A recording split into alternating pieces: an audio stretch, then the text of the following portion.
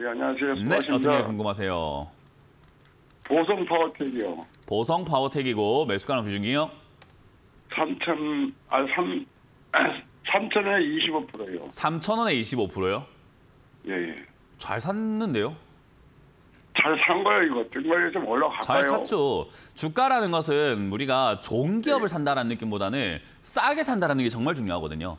일단 좋은 기업을 사는 것도 중요하긴 한데 좋은 기업을 비싸게 사면 아무 의미가 없어요. 그러니까 그래요? 좋은 거를 싸게 사야지 우리가 나중에 비싸게 팔아먹을 수 있는 거잖아요. 그죠? 주식은 아, 예. 장사예요, 장사. 장사꾼 같은 거예요. 그러니까 물건 때 와가지고 물건을 팔아야 되는데 장사꾼이 비싸게 물건을 사와버리면 어떻게 비싸게 팝니까?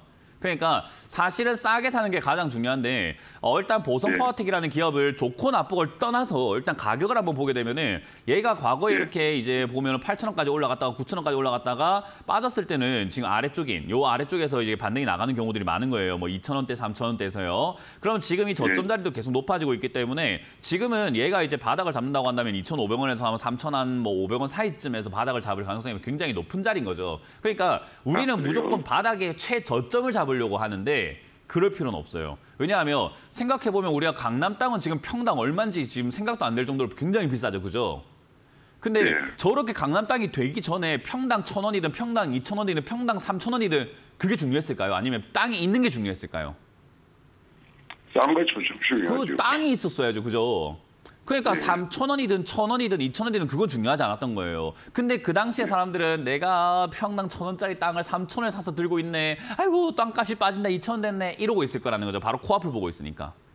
멀리 본다면은 그 가격은 별 의미가 없다라는 거예요. 그래서 지금 시청라인 가격도 3천 원에 샀는데 얘가 올라가는 것 같기도 하고 내려가는 것 같기도 하고 하면서 코앞을 보고 있으면 이거 절대 못 가져갑니다.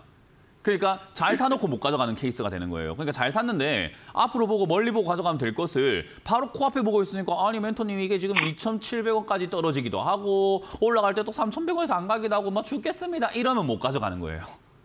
이해가 아, 되세요? 그래요? 이거는 이런 게 이제 예, 우리가 예. 흔히 말하는 장기 투자를 할 수 있는 그런 조건을 갖춘 거예요. 왜냐하면 시청자님 지금 매수가가 너무 좋기 때문에 그렇고 비중도 25%면 적절하다 생각이 들고요. 이제는 이제 기업 예, 예. 쪽으로 가고 온다면은 기업을 보면은 어, 우리가 주식시장에서 적자 나는 기업들 별로 안 좋아하긴 하는데 적자가 나는 기업들의 가장 큰 호재가 뭐냐면 흑자 전환입니다. 근데 얘는 지금 어때요? 2022년까지는 적자였다가 흑자 전환을 하죠. 그리고 얘가 지금 무슨 어떤 테마를 갖고 있는가 위로 올라가 보니까 발전소, 변전소 하는데 원자력 쪽으로 엮여 있네요.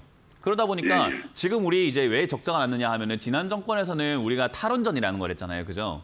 예, 그러다 예. 보니까 원전에 이렇게 뭔가 밀어주질 못하고 있다가 아 그러고 난 다음에 네. 보니까는 탈원전 하지 말자 이제 탈원전 폐기하자라는 게 이번 정부의 정책이잖아요 그죠 그러니까 얘들이 이제 이득을 볼 수 있고 이건 이제 정부의 정책이라는 것보다도 전 세계적으로 이제 원전을 전부 다 아, 위험하다라고 했다가 야 원전 생각해 보니까 이게 친환 친환경이네라고 하면서 유럽부터 해서 전 세계가 나, 이야기 나오고 있죠. 그러니까 테마도 참 예, 예. 좋은 기업을 이걸 왜 여기서 조금 움직인다고 조금 빠진다고 걱정을 합니까?